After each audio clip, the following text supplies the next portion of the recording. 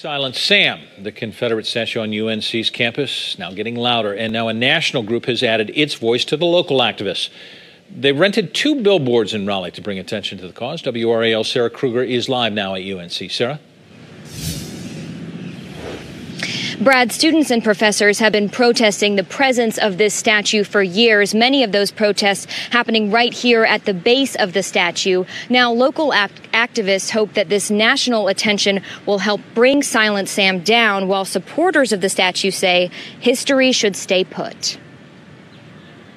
The call to take down Silent Sam in Chapel Hill is now high above the capital city, all funded by a national group. Black students each day are greeted by a statue that's an ode to the people that enslaved them. Kali Holloway is with the Make It Right Project. The new group is calling for the removal of 10 Confederate statues.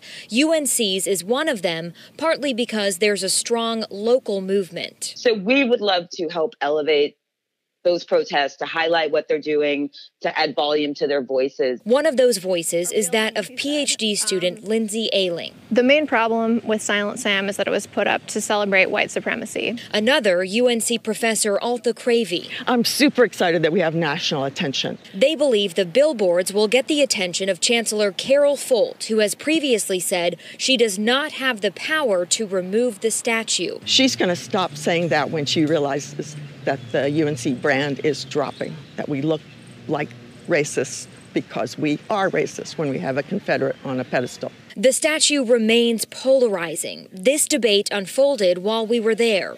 A longtime Chapel Hill couple arguing it should stay. I think we should see those monuments. We should understand what they represent for good or bad and learn from them. So there's one billboard now up in Raleigh. Another will be going up by the end of the week. And that national group told me this will be a lot more than just billboards. They are planning a visit down here to UNC to see Silent Sam for themselves and to meet with some of those local activists. Now, as far as who can make that decision to bring Silent Sam down, that is also up for debate. Some saying that UNC could make that decision if they feel the statue threatens student safety. Others saying that decision rests solely with the State Historical Commission. Brad. Yeah, and this issue and the debate isn't going away anytime soon. Sarah Krueger, live in Chapel Hill. Thank you.